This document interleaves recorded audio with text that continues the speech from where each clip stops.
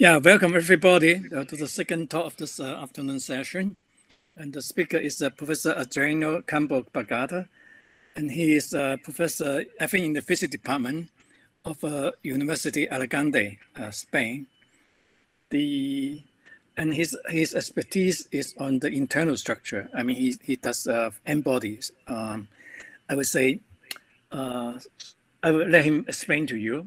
But then he he specialized in in studying the, the gravitational uh, uh, agglomeration of many uh, uh, small bodies, and then the, which is um, very suitable to study the internal structure of, of small asteroids, which we know that they are kind of rubble piles because of previous uh, collision uh, process in the in the past.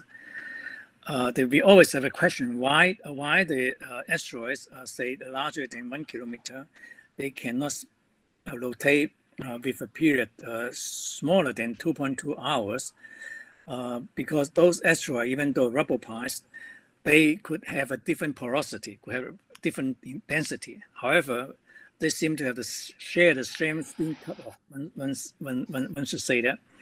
So I think that's a one. I think I have asked uh, Professor Campo Bagatin this question before, and I want to. I look forward to your answer. Okay, please. Yeah, please.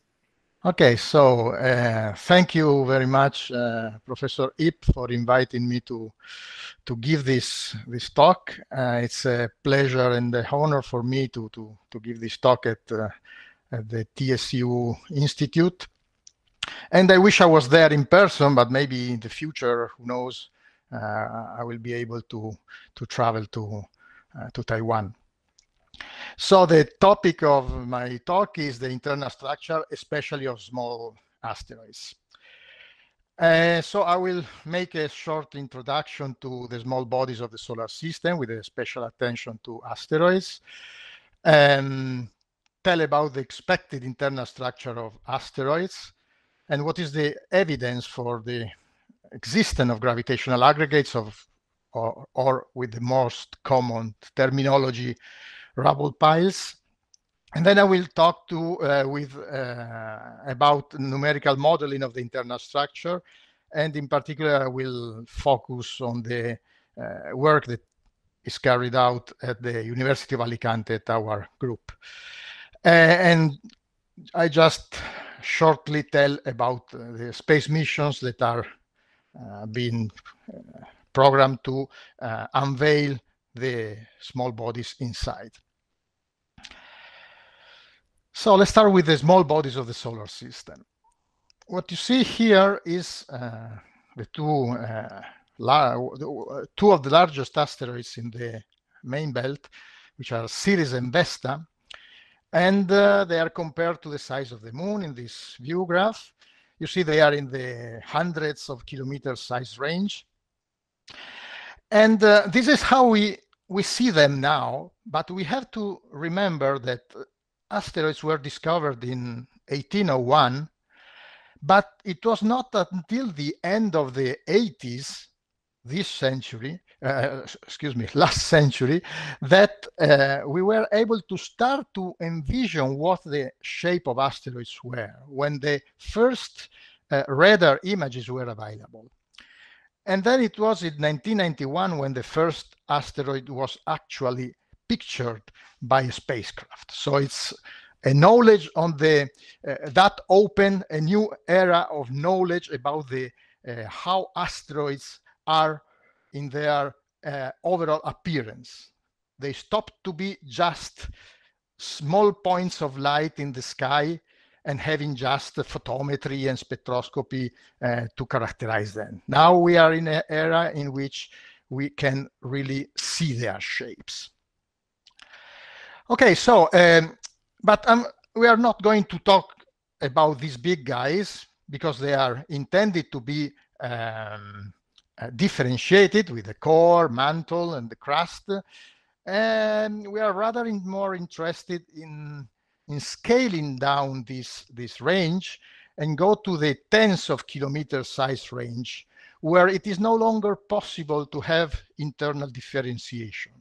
So here you see some of the asteroids and some of the comets uh, and uh, the comet Halley. Here you see the comparison with the with the uh, size of Vesta just uh, uh, showing up on the on the right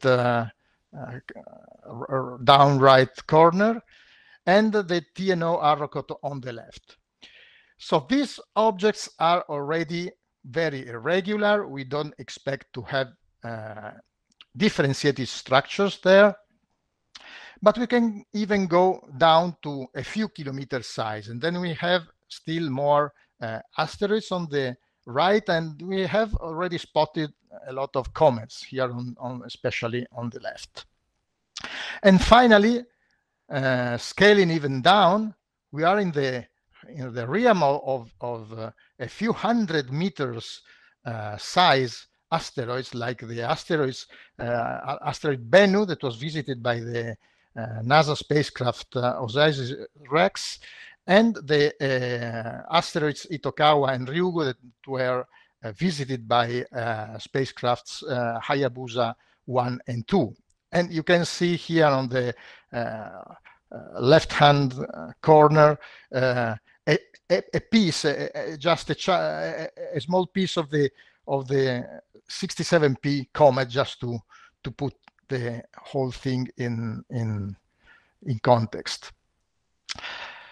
Okay, so these asteroids have very strange uh, shapes uh, and very different kind. Uh, what can we, uh, what do you do we expect to find for in their internal structure? First of all, let me remind you that uh, all these asteroids even the ones that now we see close to the Earth, the so-called near-Earth asteroids, all those asteroids live or have lived in the asteroid belt. Now, the asteroid belt is a region of the solar system uh, which is in a somewhat uh, limited volume in between the orbits of Mars and, and Jupiter, with high inclinations and eccentricity, and that makes that their relative velocities are very high high to the point that the average uh, encounter velocity is on the order of six kilometers per second. That means that uh, this is a collisional system. That is a system in which all its uh, their elements uh, can collide and can uh, at high with high energy and can be smashed. There is another collisional um, system in the in the uh, in the in the solar in the solar system. It's the one made by the uh, uh, Trojan asteroids that you can see here in the view graph, um, which are uh, we are which are sharing the, the the orbit of Jupiter because they are in the uh, equilibrium point L4 and L5 of the three body problem re reduced three-body problem, problem, Jupiter, Sun, and uh, asteroid. But there is still another collisional system that is the uh, Trans-Neptunian region or Edgeworth-Kuiper belt, where uh, we think that this is the, the source of the or the uh, of the comets that we see uh, in our in our uh, close close to, to the sun. And uh, this uh, collisional system is somewhat uh, a larger extension of, of, of, uh, of space uh, that is reaching from beyond the, the orbit of Pluto up to uh, some 47 astronomical units, but a lot of other bodies are lurking around there.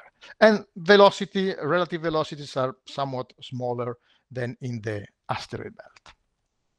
So what happens when two asteroids collide? Okay, this depends pretty much on the energy. We can go from a cratering regime where you just excavate some mass, but the overall structure is intact. We can, we can go with uh, uh, cracking uh, the target by subcatastrophic events. They, there may be many cratering events that have the, the effect to propagate the uh, shock wave in, inside the inside the the body to such an extent that they produce fragments, but they don't uh, uh, produce uh, disordering of those fragments. If we increase the energy, we can have shattering of the target and uh, reaccumulation by self-gravity. And even some of the ejecta may be uh, rubble piles. Then we can have, if we, if we have more energy, we can have shattering and gravitational reaccumulation. And here we can have many different levels of damage in the in the remaining uh, uh, in the remaining in the largest uh, fragment produced. And at the top of this of this uh, energy scale, uh, we have the dis completely disruption of the target. So we have a whole range of energies for which we can have different uh, outcome, and some of those outcomes result, at least from the theoretical point of view in the reaccumulation into a gravitational aggregate or, right, or rubble pile. So unfortunately, the mass and the shape distribution of asteroid components is completely unknown because uh, I saw I said before that we are in the era of the uh, discovering new shapes of, of asteroids, but we are just starting to envision the era in which we, we are able to really understand what is the internal structure of asteroids by means of spacecraft. So what we have is laboratory uh, experiments like the like these ones that you can see here where we shatter a, a, a, basalt target or whatever material, and we, we uh, collect all the fragments and we measure the mass distribution, and in some cases we did in 2013 also the um, also the shape distribution of those fragments. We can plot the, those in a in a um, um, in, in, such a way that we can derive the um, the uh, cumulative size distribution, mass distribution, and the exponent of this mass distribution is related to the largest fragment of the of the uh, of the shattering event, and I will show you in a in a minute. So this uh, largest fragment, which is this FL, which is related to the to, to the slope of the size distribution of the fragments produced, is a, a, um, the, the ratio of the largest fragment uh, over the uh, mass of the of the whole target, and it depends on a number of uh, characteristics of the collision, like like is the uh, shattering specific energy of the collision, the energy of the collision, and the mass of the target. So in this way, we can um, we we can find what is the uh, shatter threshold specific energy for any kind of material. And uh, but this is not enough in, a, in an asteroid environment because, of course, we, we have gravitation. So we have to also define another uh, kind of uh, uh, specific energy. And this, this, is the specific energy for disruption, which is the uh, energy that is uh, enough to uh, shatter and disperse at least 50% of the target. This is the difference. You can shatter it here on the left, you can shatter a, a target and produce the largest fragment that can be uh, at, uh, at a minimum 50% of the mass of the target. And here we have gravity where you can have 50% uh, uh of the remaining largest fragment, which is made by uh, an aggregate of small fragments.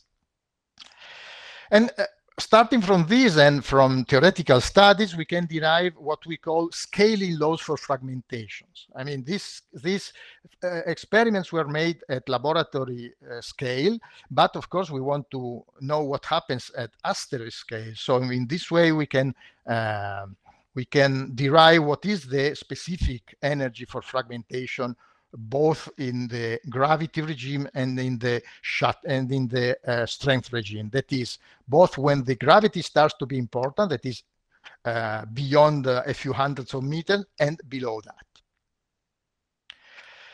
Okay, finally, uh, we will uh, have the first uh, experiment in space after uh, the one that was made on on on on, on comets by the um, uh, deep impact missions, and the first experiment in space on a on an asteroid, which is the DART uh, uh, mission that will impact uh, asteroid uh, Dimorphos, the satellite of the binary system Didymos, on September 26th, which is essentially 97 days away.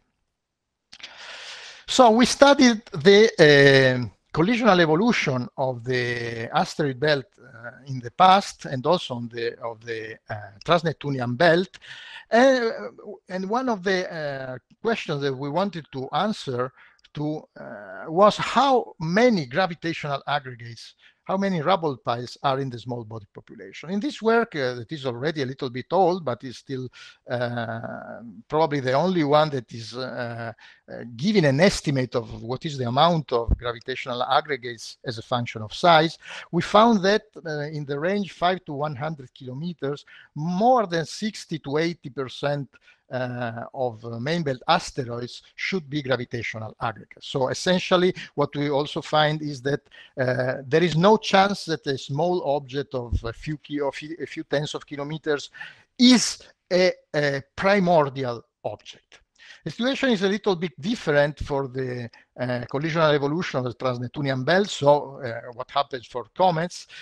Uh, here, uh, there is a relatively uh, few percentage of TNOs in the range of 30 to 100 kilometers that may be uh, gravitational aggregate, unless there is a, uh, a very, very slow, low strength, material strength in, in, in, those objects.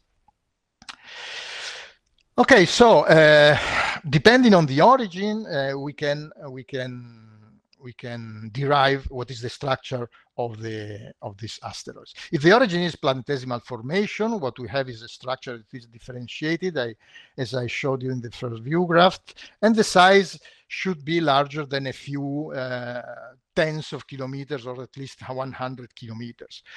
Then if we have fragmentation by multiple low energy collisions, then we could have an object that is cracked with no jolting. Um, and kept together probably by uh, friction forces. And this is in the range of between three kilometers and some tens of uh, kilometers.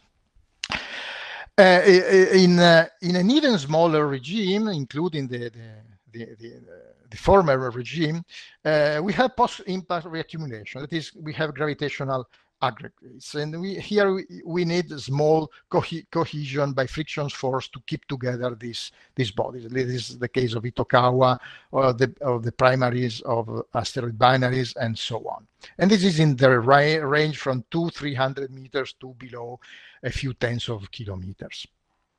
Then we have the smaller size, the smaller size below 200 meter, where, where we find very fast rotators. And these are uh, probably single fragments uh, ejected uh, by collisions in the asteroid belt. And these are essentially monolithic asteroids, unless uh, we accept the hypothesis that uh, these objects can be made by dust aggregates kept together by intermolecular forces. And we will back to that again uh, in the next slides.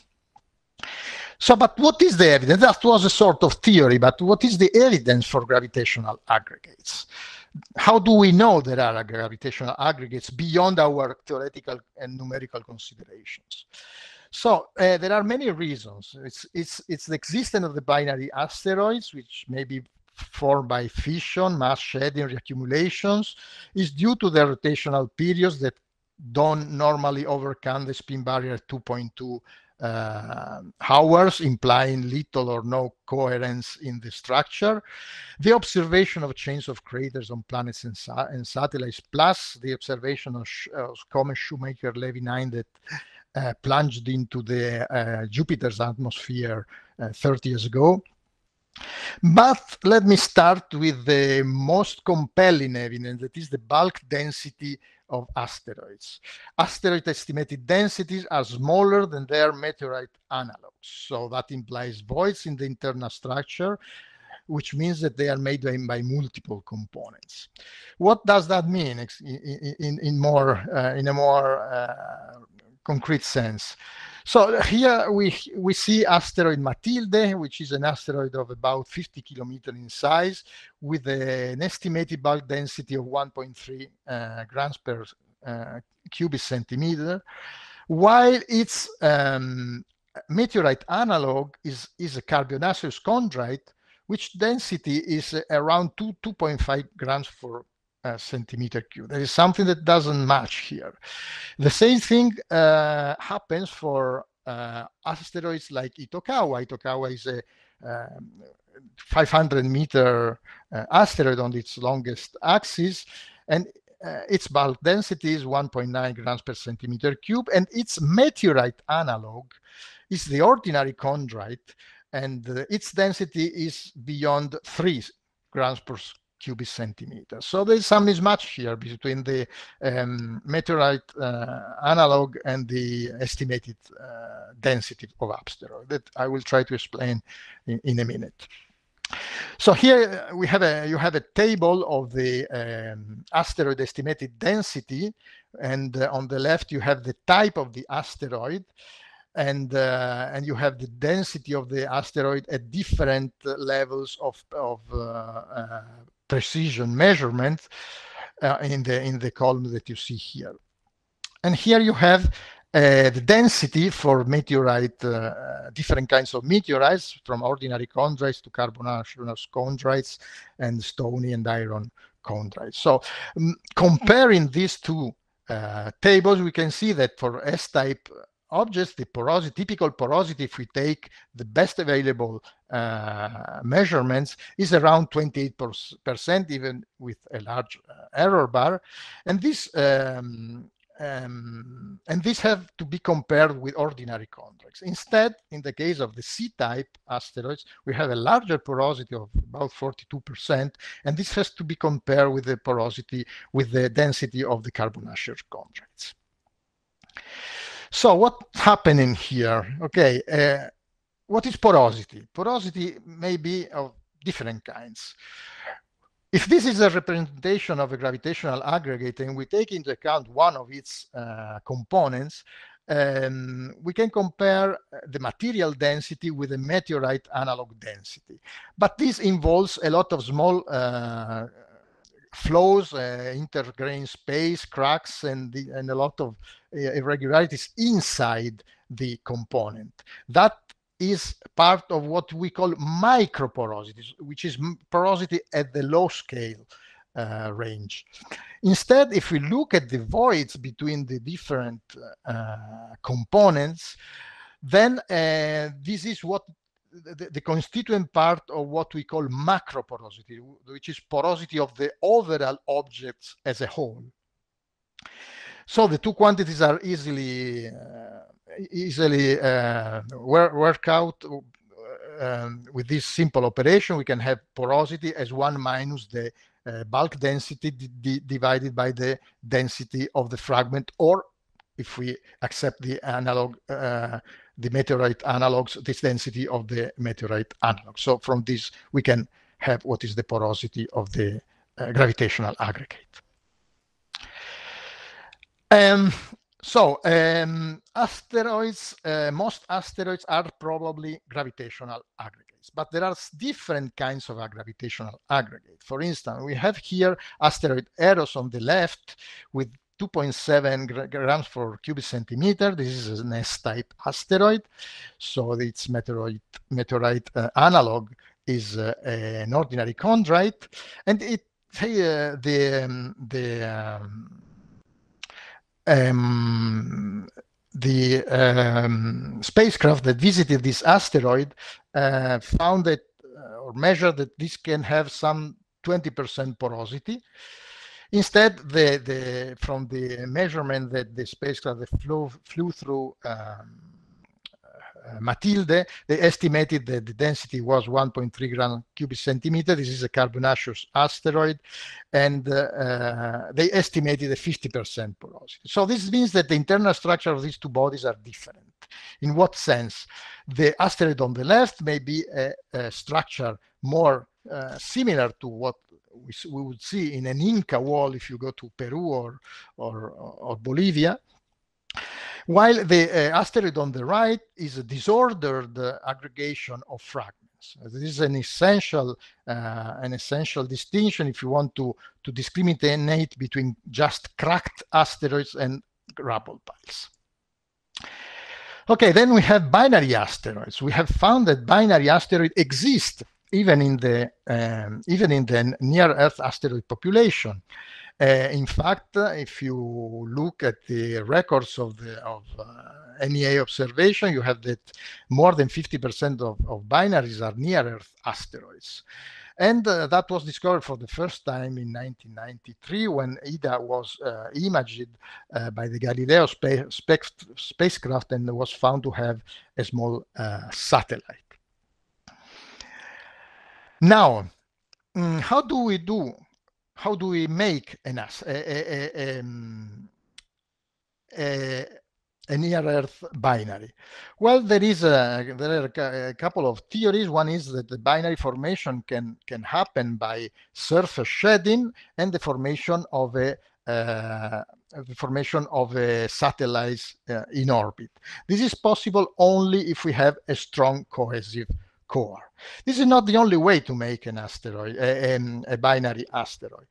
Binary, binary asteroid we showed a few years ago that may also be the result of uh, the result of a natural uh, gravitational accumulation, which is what I show here in this view graph.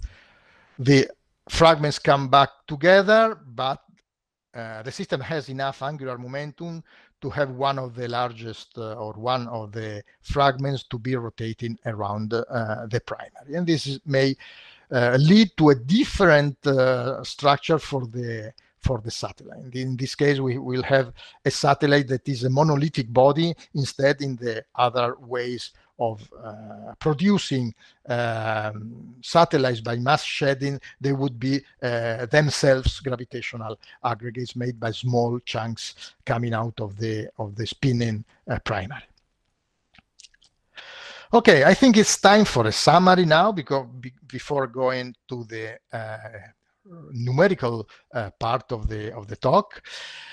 And uh, let's see what is the asteroid collisional history. So uh, we have a primordial uh, formation phase where we can have low speed accreting collisions that clump together um, protoplanets by gravitational instability. And maybe, maybe we can also have gravel or sand piles of, of small size.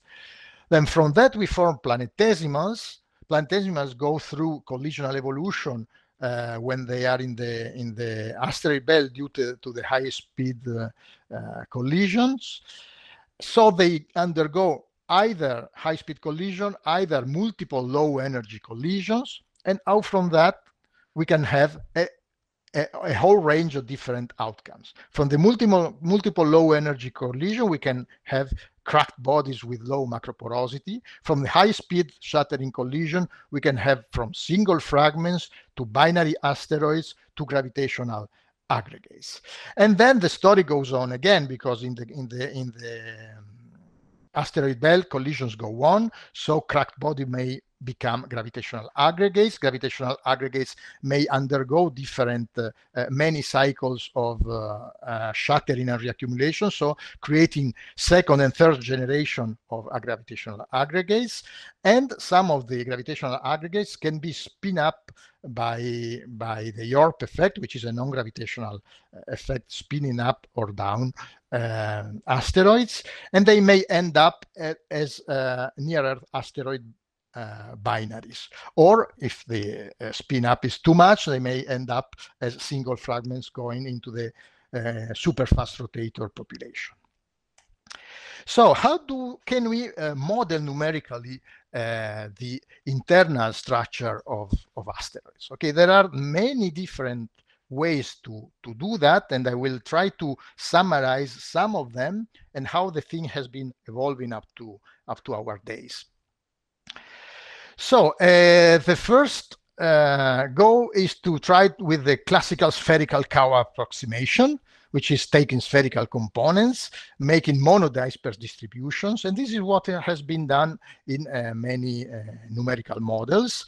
Um, Schwartz in 2012 uh, set up a soft, soft sphere discrete element method for n-body um, n-body uh, coding that is called pkdgrav and Zhang uh, et al in 2018 and in a number of other papers uh, they studied what is the what are the conditions under which um, a gravitational aggregate made by single particles uh, spherical particles can withstand uh, spin up and they uh, found that uh, in order to withstand spin up, they need uh, to have cohesion.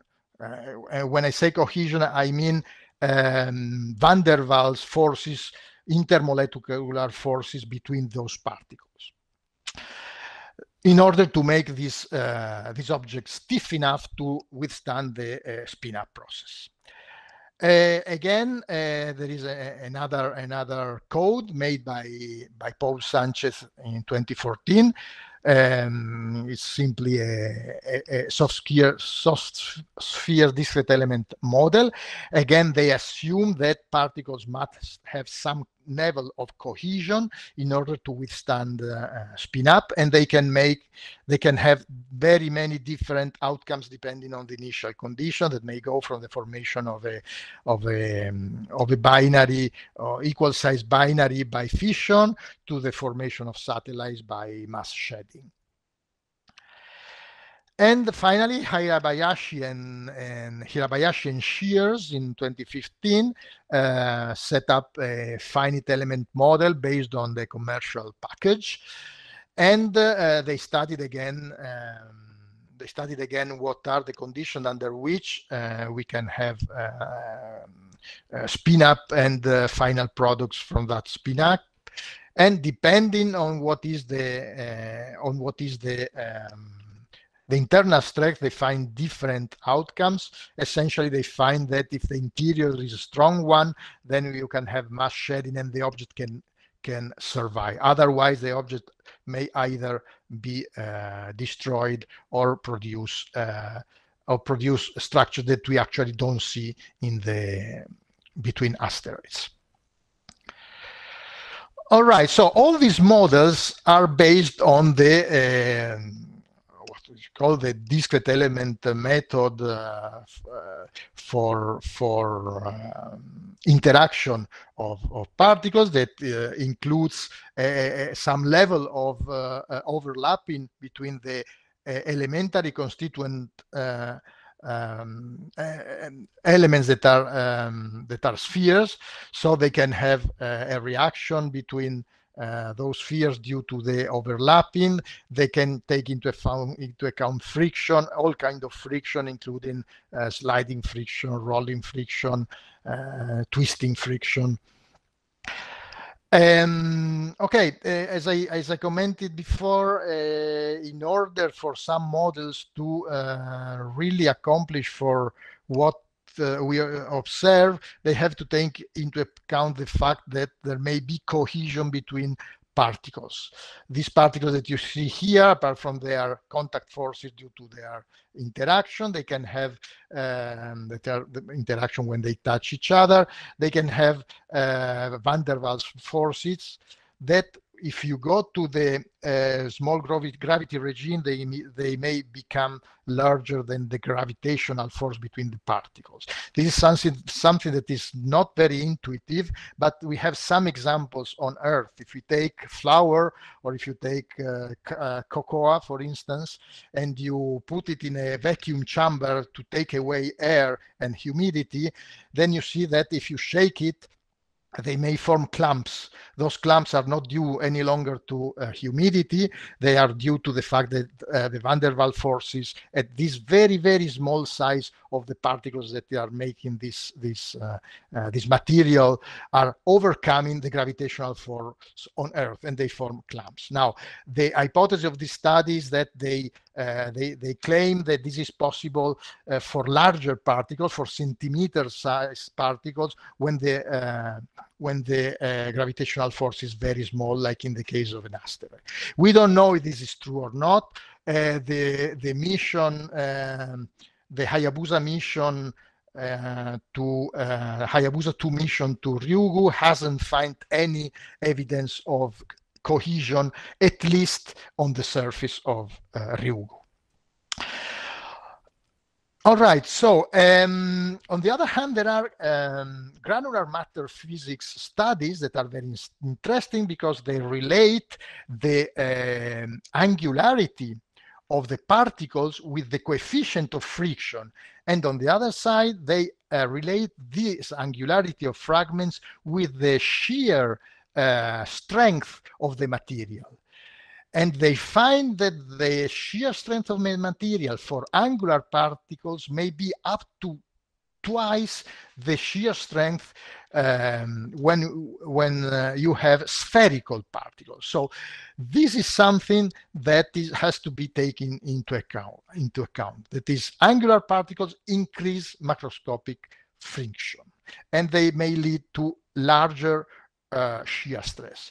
And they this can uh, have a consequence that that that is that we need to use realistic fragment shapes uh, in order to um, account for the real effect of friction. And in this way, maybe we can read we, we can get rid of the need of the van der Waals cohesion forces that hasn't found any evidence on the uh, missions that have been uh, run to now. So maybe we can go a step forward and improve a little bit our model and making non-spherical components so that we can make uh, and, and we can also make realistic size distributions for components. There is, a, there is a model made by uh, Ferrari and Tanga in 2020 called the Grains discrete element model, which includes a package called uh, Chrono that uh, makes polyhedra instead of spheres. And in this way, without the use, uh, the need of using uh, cohesion, they manage to uh, reproduce uh, the stiffness of the of some of the uh, span-up asteroid that we observe today, only including a stiff core, that is a, a core with large fragments that can have large friction in between them.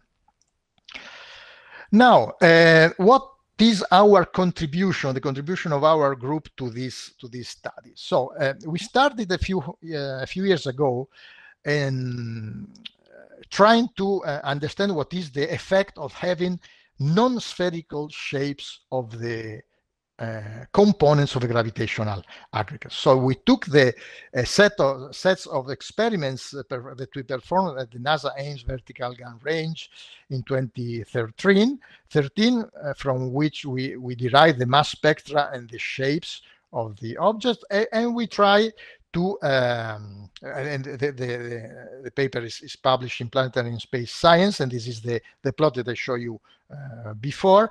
And we try to take from that uh, shapes of the gravitational aggregates uh, using the PKD soft sphere discrete element method to build them. So we have a matrix sphere from which we can extract any kind of shapes, any kind of fragments, and uh, we distribute them in space in a random way. And here you have you see all the different shape of the fragments that are essentially ellipsoids. At that time, we haven't anything better than that. The colors represent different mass uh, ranges. So this that was our our model at uh, at the time uh, to uh, uh, up to two two years ago, from which we can uh, we can uh, simulate what is the process of uh, reaccumulation of asteroids, setting the components in space with random overall angular momentum, velocity, and uh, and position, and allow for collisional evolution to reaccumulation. From that, we were able to measure the bulk volume and the porosity with the with the with the given error and we found that our uh, simulations were um, were in agreement, uh, at least for the S-type asteroid case, with the uh, estimations from uh, putting together all the available estimations of the uh, porosity for asteroids. Um, that Carry uh, put together uh, 10, 10, years ago. So within error bars, we are in agreement with that. So this, this was encouraging. And we also derived um, um, a relationship, a loose relationship between the porosity and the size of the largest fragment that is formed in the in the fragmentation, in the collision. Uh, in this way, we were able to form um, many kind, many many uh, shapes of asteroids that are uh, in agreement, as you can see here in, in the plot on the right, the, the, the stars are observed asteroids, the shape of, observed, of observed asteroids uh, mm, described by the uh, B over A and C over A uh, axis ratios, and the, the, the black, the, the, the blue and, and, and red dots are the our results for S-type and C-type aggregates. So I think this was an encourage an encouraging start for our for our study. All right, uh, we um, were also able to reproduce some of the strange uh, strange uh, uh, shapes that we may find find in the asteroid population. That is, for instance, the uh, contact binaries.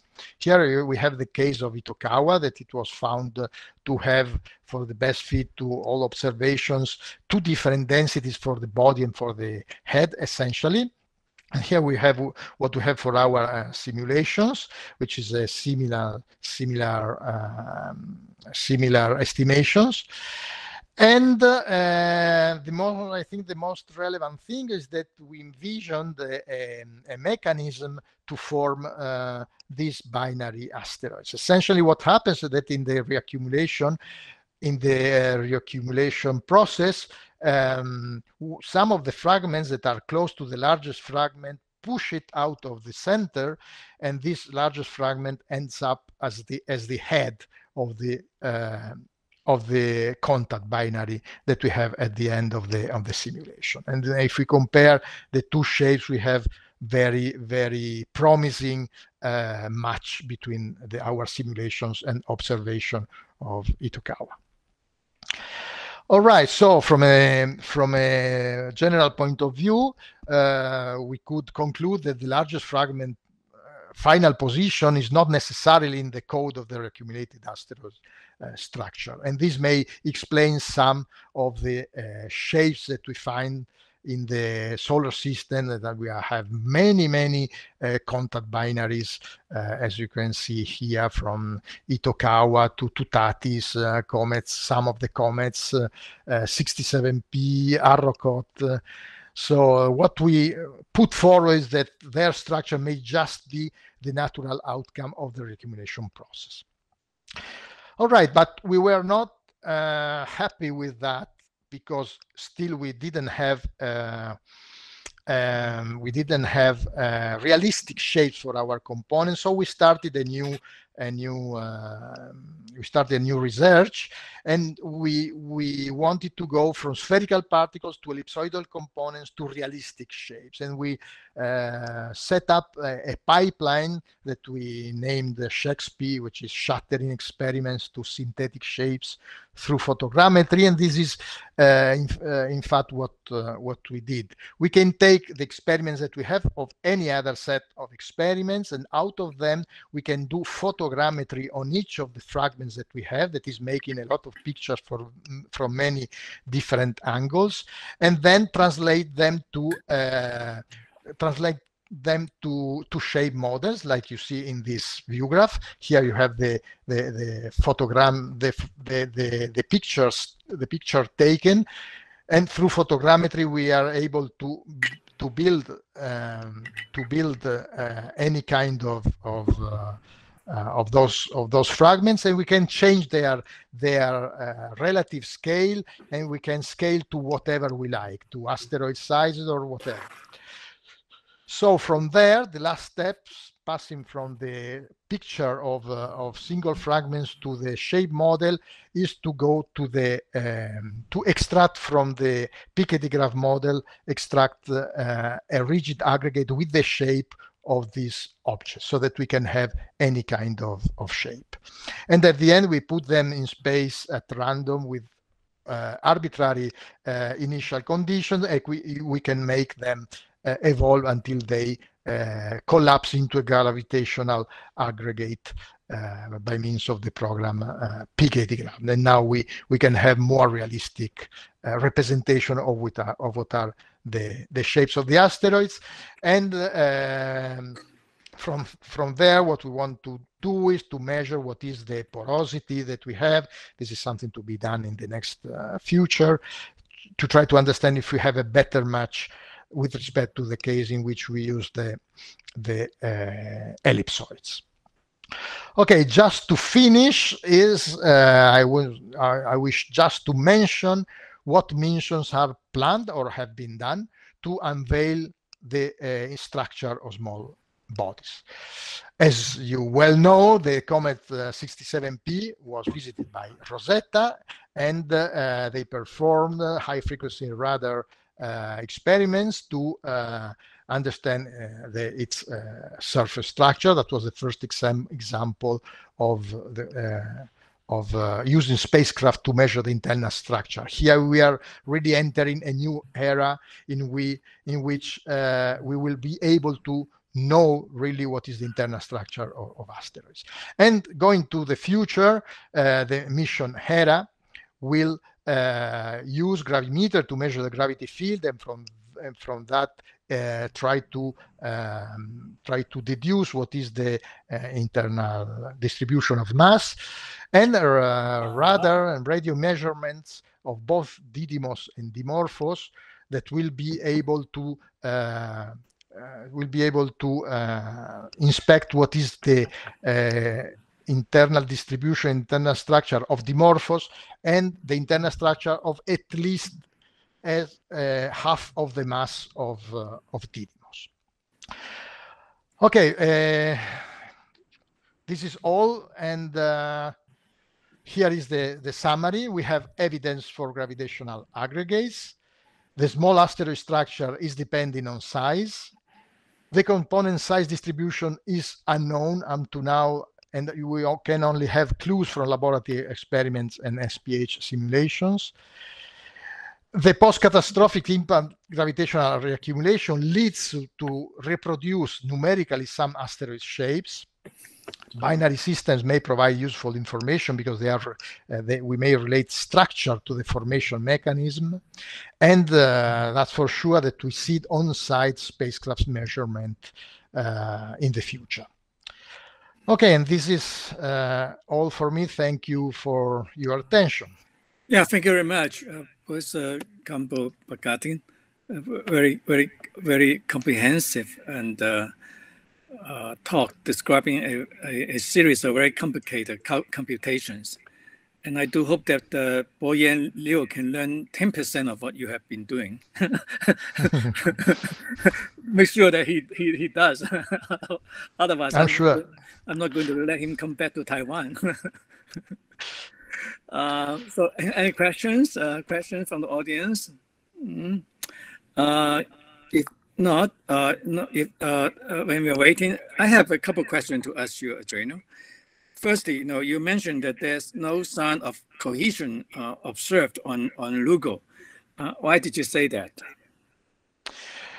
yes, um, from the um, from one of the experiments that they made uh, uh, impacting a small bullet on the surface, uh, the way in which uh, material has moved on the surface uh, led the, the, the, researchers that that studied what what is the, the, the, the what was the distribution of such of such uh, motion of particles led to the conclusion that uh, uh, no cohesion was acting in the motion of these of these particles they also didn't find new clumps of mm. particles so that they they could be uh, they have been formed by the motion of these of these particles. Something similar was found uh, by the OSIRIS-REx uh, uh, mission when they make their um, uh, the collection of the samples that they are taking back to Earth, and from the motion of the of the particles on the surface, they concluded that they don't expect uh, cohesion on the surface. We don't know if there is, if the situation is different uh, below the surface. Ah, okay. Uh, uh, Wendy, Wendy Chen has a question. Do you want to ask uh, yourself, Wendy? Uh, hi, uh, Professor Campbell, this is Wendy. So I have one question. Uh, so will gravitational aggression produce the uniform porosity or the, por uh, the porosity just case by case? I'm not sure I, I understand the, the question. Can you uh, repeat I'm, it? Yeah. Okay, yes. Uh, so I'm curious, uh, all the asteroids uh, from the rubble pile or from the gravitational aggregates, so do they have the uniform porosity or just by case by case? Ah, I see. Thank you for the question. Um, it depends, uh, as I try to, to show, it depends on their uh, composition. They may have different, at least bulk porosity. Uh, bulk porosity is the sum of the microporosity, which is the porosity at small, small scale, and the uh, macroporosity, which is the porosity due to the voids. So, uh, for instance, C types show up to 40% of porosity altogether. So from what we know, it looks like that most of the porosity must be in inside each of the fragments. So um, there are two different two different cases. One case is depending on the composition. If there are C types or S types, they can have different porosities, average porosities. And then for the same case, a, a same a same uh, kind of uh, of asteroid, same composition, for instance, an S type, you can have a whole range of different porosities. Then the, the average of those porosities you find to be around 30%, 25 to 30% or something like that. But, but you can have asteroids that have low porosity, macro porosity, like asteroid, uh, asteroid Eros, because they are just cracked and fragments have not moved very much. Or you can have very high porosities uh, due to the fact that all the fragments are uh, are uh, jumbled in, in, inside the in the, the whole structure. So you can go from maybe 20% to 40% in an S-type asteroid, for instance, for the macroporosity. It depends on its formation. On average, you have something around 30%, according to available estimations. But but that's the question because if you have the uh, range of porosity from 20% to 40%, how come that they all end up having the same uh, spin cut off? So you mean? Uh, uh I mean, from, is... from from one kilometer to ten kilometer or twenty kilometer, uh, and then for S type, you can see that they have a very very almost the, the same spin cut off, same you know chemical. Yeah, yeah. Uh, but but as you said, they have a range of porosity from twenty to forty percent. Yes. Well, um, from from from the work that has been done on this on this topic, uh, I think that porosity itself it's not the, the leading parameter for the for the uh, uh, that keeps together uh, this body. These bodies are mostly kept together by friction forces, and 2.2. Uh, 2.1 to 2.2 is a limit that is uh, for the S-type asteroid. If you go to the C-type asteroid, the limit is even even below. It's around three.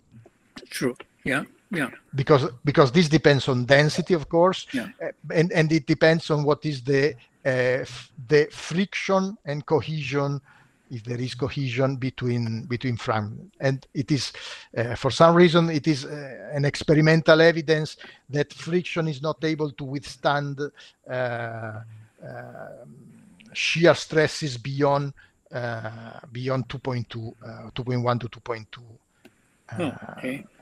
Um, all right. So I, I, I still no, don't quite understand it, but I will ask you uh, some other time. Uh, I can see that uh, Lin Qihong you, you uh, has raised a hand. Uh, Qihong, can you ask the question? Mm, okay, yeah. So, um, Professor, I have two questions. Is uh, first one is that because just like this uh, one asteroid might be is made by the different slices of the rock, they bind to each other to become one asteroid. So my question is, uh, is that possible that this asteroid maybe the A point this is a heavier, they have more mass. The B point this is a very good uh, high porosity. So when that happens, in theory, this asteroid they will have unbalanced center of gravity. So how this so will they change the um, position of the rotate axis uh, in this uh, asteroid So this is the first question. Um, I'm not sure I, I, I, I got the question completely. Mm, Can, so can, yeah, Can Yeah. you can you say it in a simple way, uh, Lin Hong? Oh, okay, yeah. So, so just like uh, for example, they have the two asteroids. The this part this is the heavier, and this part this is the lighter. So heavier in theory will be has a stronger gravity, and um, the center of the gravity this is the closer for this heavier plate. So how this asteroid will be uh maybe they are the, the normal uh, rotate axis is metal, but maybe this asteroid inside will their rotate axis um become right uh, turn right because uh closer for the heavier area. Um, sorry, yeah, so my very good. Still not easy, huh? Uh, yeah, uh, very, very Uh, why why don't you you know Lin Hong, why don't you write it down and, and, and send to me, and I, I forward it to Professor um, Campo Bagatin for you, and uh, let him look at the questions because uh, yeah. All right, I can just uh, so Yeah, your your, thank- your second thank you. question, Stephen, whether you, you, you, you have better luck asking the second. Hmm, All right. So okay, I, I will just to teach the second question. So my second question is that because uh, we know actually they are rotate, so we have equatorial area, their polar area.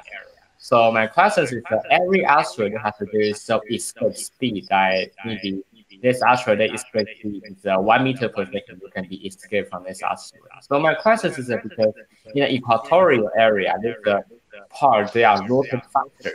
So it will be has a more uh, centrifugal force. Yeah. So well, this uh, different area in asteroid will be has a different escape speed. I mean, in the equatorial, the escape speed is uh, um, smaller, but in the polar area, this is a no centrifugal force. So this part escape speed will be um, higher.